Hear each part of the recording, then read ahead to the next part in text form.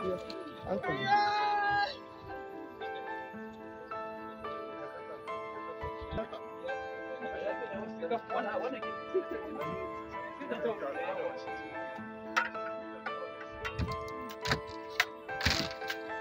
by name Danladi Marcus.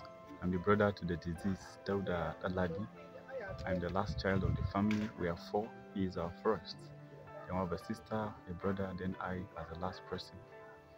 Um, my brother is a businessman in Sakani, here in Kagadama Bauchi.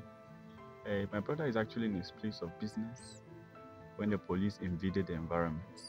Um, based on the police, they're trying to fetch out criminals in the environment which my brother was actually in the place of his own work, that is in his own shop. So unfortunate for the police, when they came, they chased the people around. And of course, my brother is a businessman, he sells things, so he didn't run. So when they saw him around that place, they came and then they hijacked him. They're trying to put him in his car. He asked them, ah, what have I done? What have I done? What was my own fault? They insisted that he must enter. He told them, I have a shop here. In fact, he even requested, based on his neighbors, he requested that let him lock his shop before he go with them but they did how they forced him. One of his neighbor who sells suya also came around was asking them, ah, leave this man, he's our neighbor, we know him. He has not done anything. Still, they could not hear that suya man. And likewise, a certain neighbor of his, which uh, a Baba who is selling something, still here he came and talked to them, but still yet they didn't respond. But this is how they brutalized my brother and pushed him inside the car. So that's actually what happened that led to my brother's demise. My brother don't have any case of asthma. In fact, none of my family members have any history of asthma. So my brother is not asthmatic. This was a fabricated story from the police. If actually the police say they saw him on the ground gasping for breath, they actually helped, which is very good. But the next thing they are supposed to do is for, for them to call us as his own relatives. But we didn't get that information. In fact, we struggled to get more information from them concerning our brother. Well, the arrest happened in the night. And I, in person, before the information came to me, it came around 10 o'clock. In fact, 10.03, that was when my sister-in-law called me. So I said, okay, it's late in the night. Since this police arrest, we're going to go and bail him out tomorrow in the morning. So that's what happened. In fact, I even called two of my friends who are police officers, asking them about my brother's well. They say, okay, since it's night, tomorrow in the morning, they are going to see what they can do to bail out my brother.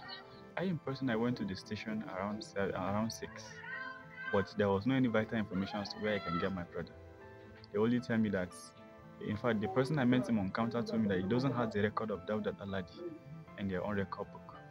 So it was later on, I left that place. Later on, my, my, my brother and my sister-in-law and my sister and my mom, they went to that place. It was that time that the news was brought to them after they had been pressurized to bring a medicine for my brother, which is not on drugs. So they pressurized my sister-in-law and she went and brought drugs, purposely for just her husband.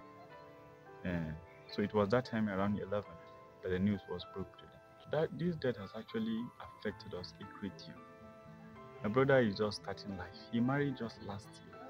In fact, I've been one of the person who has been very busy up and down trying to prepare for his wedding. So the news of his demise came as a very rude shock to me. It has affected us a great deal as a family. He has been of help, support, and encouragement to us as a family because he's the eldest. So he being absent in our family is a great loss to us as a family. As a family, when, when the situation happened, um, we all believe every man is going to die. And then based on our decision is that we're going to forgive what has happened and then we proceed to our brother's burial. But the story we heard from the police actually provoked us because they are not willing to take responsibility of the demise of my brother, which obviously they are responsible for that. So for that reason, as a family, we are not going to let go of our brother's blood go in vain. We ensure that all those who are involved in this thing are brought to the book. We're going to follow due processes.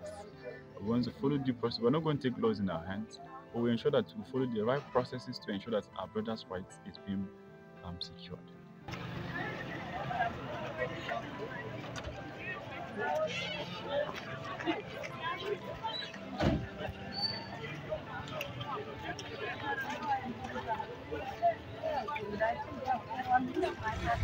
इसीलिए इसीलिए बना हुआ है